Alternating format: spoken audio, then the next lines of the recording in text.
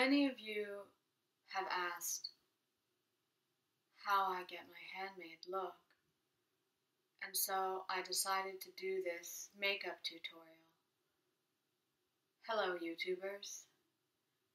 Many people pilfer butter scraps from the grocery.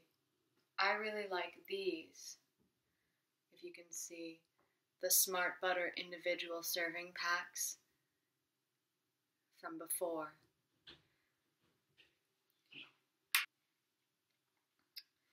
Now first what I like to do is start with a bit of concealer.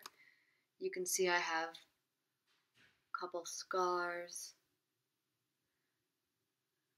a little uneven patches, blemishes, any birthmarks that you might, might want to cover up.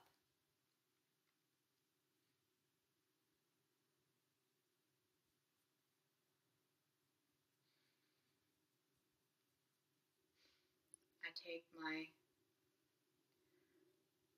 blurring pad and I start to apply evenly over the entire face.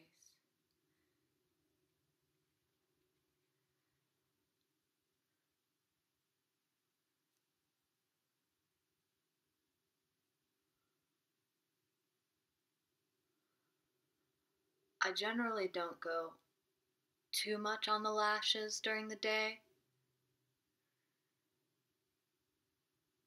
Just because I like to maintain that illusion of natural look for the commander.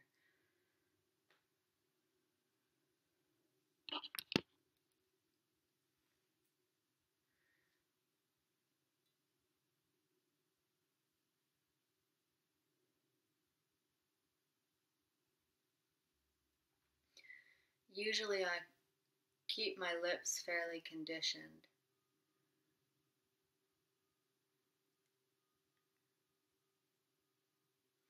I don't really mind the fact that there's not so much pigment. This one is for contouring. And you can also use it as an eyeshadow.